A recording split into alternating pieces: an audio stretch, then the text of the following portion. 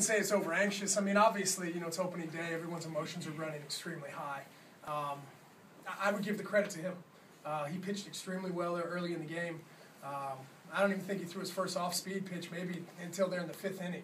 Um, did a great job, man. Was really working ahead of guys. Um, and you know, hey, you know, there in the sixth inning, we were able to get to him. We get a couple guys on. Um, in my mind, the turning point of the game, Yan Gomes hits the home run.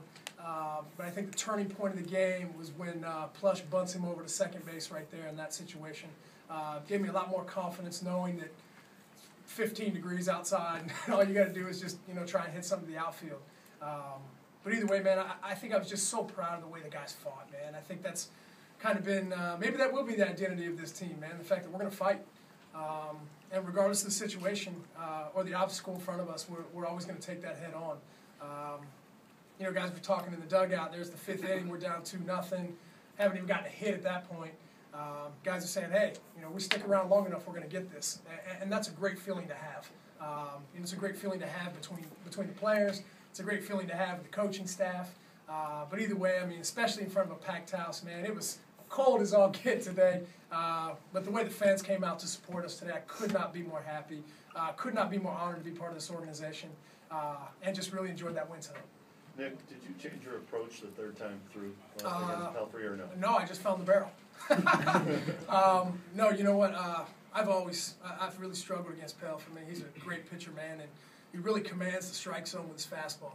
Um, and today he was working in and out, uh, really splitting the corners of the plate. Um, you know, jamming a bunch of guys there early in the game. Um, but in a situation like that, you know, I was just just kind of able to get the head on it. You get the ball in the air up into the jet stream. Do you, uh, Well, if you want to call it a jet stream, I mean, I don't think you could have hit a three wood out the left tonight. Um, but either way, you know, it was just a great win for us. Uh, really proud of the way Danny went out and did his thing today. Didn't have his best stuff, uh, but fought and battled and, and got us there uh, to our bullpen later in the game. did you forget you were still holding the bat halfway up the line? I was, I was just so excited. Opening day, packed house, uh, situation that we were in, um, just to be able to put us up ahead right there. I was, I was really excited about that. Nick, with contributions from everywhere in the lineup, is that kind of an indication of the way you guys need Well, to play? I, I kind of think that's that's kind of our thing. You know, I mean, we got nine gritty guys that are going to put together quality at bats every day. Um, you know, we don't have that one superstar that's going to be able to hit you 50, 60 home runs. Uh, we got to do it collectively as a unit. Uh, and I think that's why we take a lot of pride in, in who we are as a team and the camaraderie we do have. Nick, are you aware of how